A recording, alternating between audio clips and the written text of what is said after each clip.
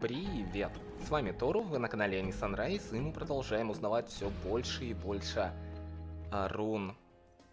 Интересно, что, за, что же Херсван имел в виду? Понятия не имею. Рун. Девушка с историей. Наверное, мы откусили куда больше, чем могли проглотить. Но нам ничего не остается, кроме как пойти в таверну в то время, которое дал нам Херцван. Как думаешь, может нам сходить в таверну до того и расспросить всех? Ну, а почему бы и нет? Прости, я просто не могу сидеть на месте. Да все хорошо, я все понимаю. Пойдем-ка зададим людям несколько вопросов. Может мы даже встретим тех, кто знает Альбаса лично? Ага, Боже мой, сейчас ведь так рано, а это место уже такое шумное. Но вот я думаю, что шум это хорошо. О, девочки, вы вернулись! Я так рад, что вы снова у нас. Вы ведь как два красивых цветочка, украшающих нашу таверну. Ам, вы нас помните? У вас хорошая память. Но как же иначе? Такие красотки, как вы, настоящая редкость. Как я мог забыть? Эй, послушайте-ка! Мы принимаем последние заказы. Никаких новых заказов больше не принимаем, поняли? А, блин, простите, девчат. Вы пришли сюда, продел... Вы пришли сюда, проделали нелегкий путь. Они, судя по всему, начинают подготовку к вечерней работе. Да нет, мы, собственно, не за едой сюда пришли. Мы хотели спросить кое-что другое. Эм, может, вы знакомы с человеком по имени Альбас? Альбас? А, вы имеете в виду Альбаса Фолстера? Конечно, я его знаю. Он один из завсегдатаев. А могли бы вы рассказать нам, как он выглядит? Ну, он тихий, интеллигент, среднего возраста. Но у него очень осторожный у... Но у него очень острый ум. А еще он занимает руководящую должность в Жевиц, насколько я помню. Он уже не так часто сюда приходит, как раньше, но если придет, то садится вон за тот столик. Договаривая, официант указал на него. Хорошо. Моя благодарность за информацию.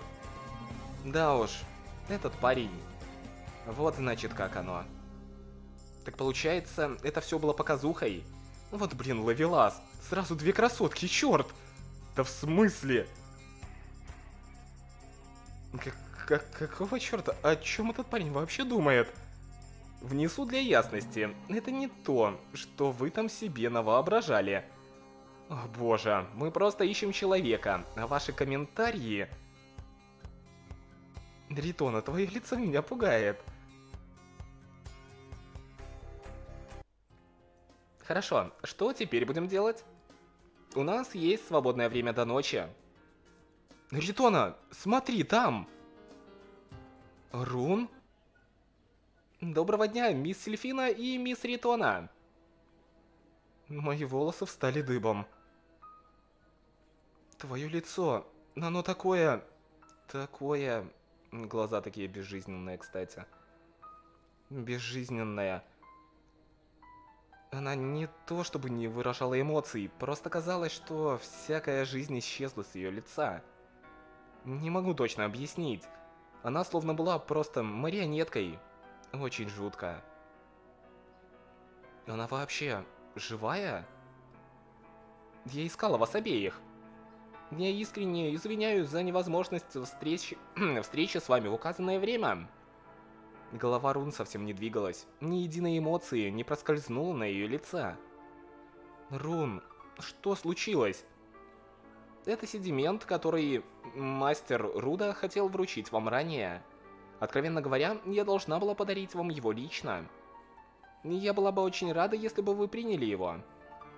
Да к чертям этот камень! Что с тобой произошло? И кто вообще этот Руда? Мастер Руда – мой владелец. Говоря эти слова, Нарун едва заметно улыбнулась. Хоть это и улыбка, но в сочетании с безжизненным лицом какой-то тихий ужас. Владелец? Почему ты относишь себя Почему ты относишься к себе как к вещи? Люди не должны так себя воспринимать. Я не личность. Я всего лишь вещь. Немедленно отвечает Рун. Ее голос ни капли не дрожит. Что, черт побери, ты говоришь? Тебя Руда так запугал, что ты и слова против не вставишь.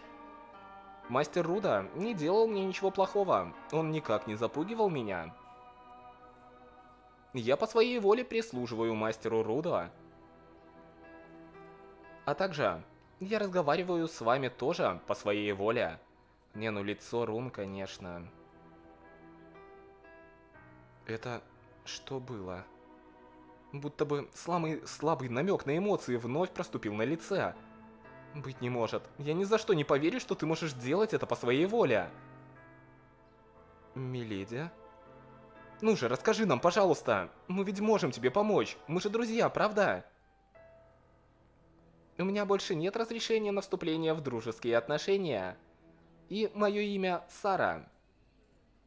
Я искренне извиняюсь за то, что назвалась тем именем в нашу первую встречу. Хоть это и неудобно, но я попрошу вас обращаться ко мне по этому имени. Впрочем, сомневаюсь, что мы вообще встретимся вновь. Сказав это, Сара опять склонилась и буквально сконструировала на лице искусствен... сконструировала на лице искусственную улыбку. Нет, да как же? Искусственная. Да, подходящее слово. Меня всегда это дергало с самой нашей первой встречи. Очень часто она делала странные, неестественные поступки. Будто бы каждый ее шаг был рассчитан. Все ее действия были искусственны произведены. Будто бы она думала над каждым верным ответом, над каждым верным выражением лица, над каждым взаимодействием. Я должна приступить к... Я должна приступить к своим обязанностям. Так что, если вам больше нечего мне сказать, то удачного вам дня. Что? Подожди секундочку. Рун, то есть Сара, да? Позволь мне кое-что сказать. Чтобы ты... Чтобы ты там себе не думала, Сельфина, и я считаем тебя своим другом. Сара уже уходила от нас, но моя фраза ее остановила. Если тебе нужна помощь, тогда мы сделаем все, что в наших силах. Посему позволь мне тебе, тебя еще раз спросить, удерживают ли тебя против твоей воли и заставляют ли тебя работать? Или это потому, что ты очень уважаешь этого человека по имени Руда? Возможно, у нее были свои причины, те, которые она не могла рассказать другим. А может, эти причины просто не поняли бы люди? Здесь она, предположительно, по своей воле. Но, как и сказала Сильфина, это просто не может быть правдой. Впрочем, люди тоже имеют право на отказ в контакте с другими. Если она на этом, на этом так настаивает, тогда мы немного ограничены в наших способностях. Если если ты больше не хочешь, чтобы мы вмешивались, то... Мисс Ритона... Она перебила меня. Я полагаю, что вы кое-чего не поняли. Когда молоток используется по предназначению, разве он задает вопросы о своей судьбе инструмента? Он проклинает судьбу? Меня не заставляют работать против моей воли. Я еще раз объясню все подробно, чтобы разрешить все недосказанности. Люди — это существа, которые имеют права, которые дают права и которые получают от прав выгоду. А вот я, не имеющая разрешения, не имею и права на отказ в общении с людьми, как вы сказали. Аналогично, у меня нет права уважать мас мастера Руда. Все потому, что я объект, вещь. Сара продолжала говорить, словно бормотала какую-то мантру. Как можно говорить такие грустные, такие печальные вещи без эмоций? Эта девушка уже не является той Рун, которую мы встретили вчера. Что же, удачного дня. Что же могло случиться? Как же личность может претерпеть такие значительные изменения? Глаза Сельфины затуманились. Миледи? Я... Я сейчас, наверное, немного злая. Это зашло уже слишком далеко, и мне хочется подробнее разобраться во всем, даже если она начнет нас ненавидеть. Все же, она просто высказала нам свою точку зрения. Если вы продолжите попытки связаться с ней, то просто вызовете у нее ненависть и презрение к себе. Да нет, я не про то. А, ну... Ты тоже это упоминала. Руна Найлисара... Было ли ее милое, веселое поведение вчера просто притворством?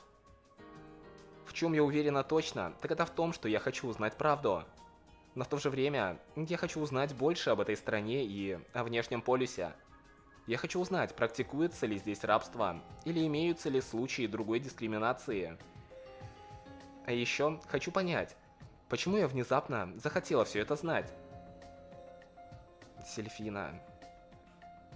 Вы думаете, что... что мы можем просто принять любую дискриминацию? Фанатизм, бедность, война. Эти понятия по большей части были убраны из жизни Розенхайда. Когда речь заходит о рабстве, даже учитывая наше знание о его причинах, наш менталитет отказывается его принимать. Неважно, Ритона. Даже если мы ничего не сможем изменить, сначала нам нужно лучше понять ситуацию. Либо ничего не изменится вообще. Глаза Сельфины, смотрящие вслед ушедшей рун, были наполнены таким достоинством, которого, которого я еще никогда не видела. Ночью. После того, как Сельфина уснула, я высколь... выскользнула из гостиницы и направилась в одно место. А в таверну, что ли? Я ухватилась за одну интересную информацию. Из разговора... Из, из разговора узнала, что есть кладбище около Моношахт на окраинах города. Неподалеку от того места, куда нас с Сельфиной забросила интерференция. И на том кладбище похоронена Рун выходит, да? Ну, то есть настоящая Рун. После приблизительно 10 минут пути, считая от выхода из леса, я наткнулась на что-то очень похожее на кладбище. Это место, похоже, очень хорошо обслуживается. Все выглядело довольно прилично. Кладбище в середине леса, да еще и глубокой ночью. Страшновато, ничего не скажешь. Густой туман добавился к нежеланной зловещей атмосфере. Что же, я открыла ворота и достала заметку, которую дал мне трактирщик. Арун Жевиц. На записке было имя Рун, написанное на их языке. Теперь мне нужно перерыть это место, чтобы найти гравюру, соответствующую этим знакам. По крайней мере, я точно могу быть уверенной, что Рун, или не Рун, младшая сестренка, уже в лучшем мире. Прошло 20 минут. Но это кладбище довольно большое. Из-за тумана мне сложно сказать, насколько далеко я от входа, но совершенно очевидно, что оно действительно огромное. Черт. Ну, вот только дождя еще в Ритоне не хватало. Как, блин, вовремя. На первый взгляд, я не исследовала и треть этого места. Ну, правда, это кладбище смехотворно большое. Тут что, все мертвецы Кади похоронены? В любом случае, нельзя, чтобы погода мне помешала. Нужно, нужно поторапливаться и проверять оставшиеся могилы. Уф. Не прошло и пяти минут, а моросящий дождь превратился в ливень. Дождь вымочил мой плащ и пальто и пробрался прямо до кожи. Шастать тут не самая лучшая идея. И пока я искала место, где бы спрятаться от дождя...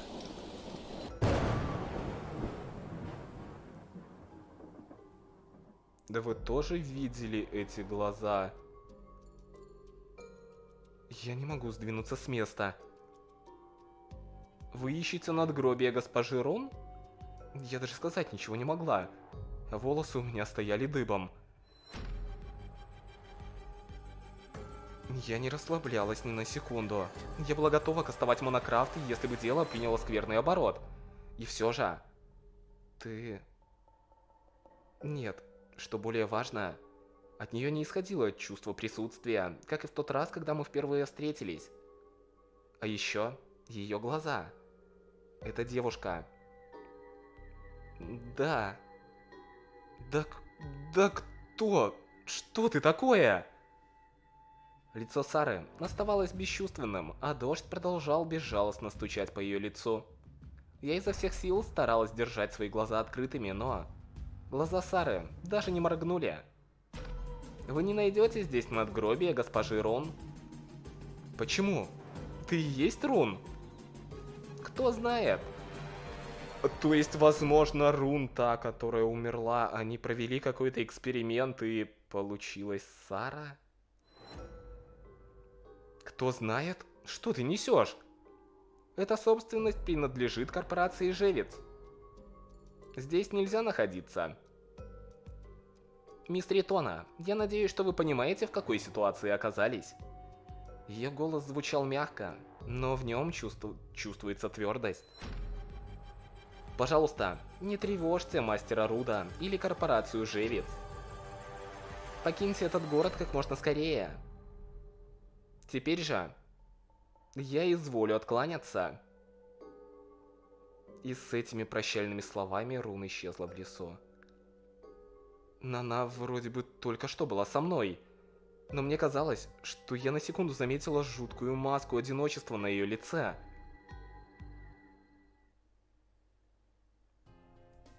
Кого же я встретила прошлой ночью? У Рун нет надгробия?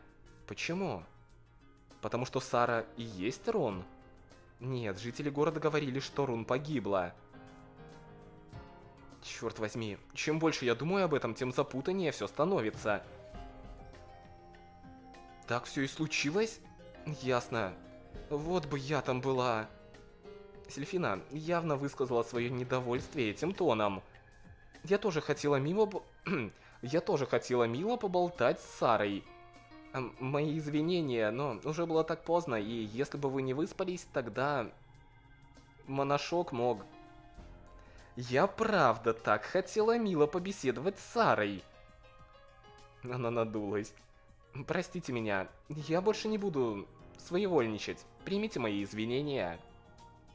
Что бы мне сделать? Сельфина продолжала глядеть на меня. Я не думала, что это так ее расстроит.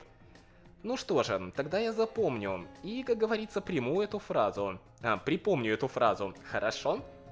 Эм, понятно. Знаешь, Ритона, я понимаю, что практически бесполезно, да вовсе нет. Нет-нет, все в порядке. Я не пытаюсь себя как-то принизить или сделать что-то, сделать еще что-то. Это просто факт. Я не так умна, как ты, и я не умею по пользоваться батлкрафтом. И если что-то произойдет, я могу стать обузой для тебя. Но знаешь ли, в эти времена я должна быть с тобой. Эм, что ты имеешь в виду? Ритона, ты всегда лезешь в самое пекло, чтобы защитить меня. Если я скажу тебе прекратить, это не сильно поможет. Если бы это был Рузенхайд, мы могли бы просто заменить тебя кем-нибудь. Но сейчас-то мы только вдвоем. В, нас... в настолько далеком месте. Будто мы на другой планете, путешественницы, пытающиеся вернуться домой. Сейчас твой долг – это убедиться, что я вернусь в Розенхайт в целости и сохранности, так? Да. Но если с тобой что-то случится, я же одна никак не выберусь. Так что, давай, если уже рисковать, то вместе, хорошо? И если что-то случится, то не будет никаких обид. Если же нет, тогда я... Я хочу, чтобы мы, мы были в равном положении. Это не приказ, но просьба от твоей подруги. Я такая дура. В данный момент, в данной ситуации, мы должны действовать как одно целое. Это же так очевидно. Мне так жаль. Обещаю тебе, на этот раз мы на равных. Ура!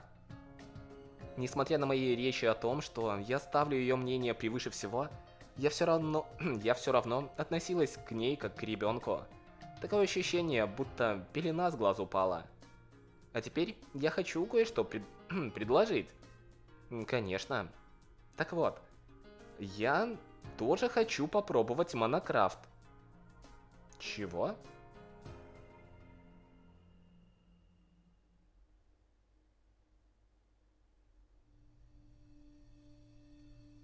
И на этом, ребят, мы эту серию закончим. Спасибо за просмотр и пока.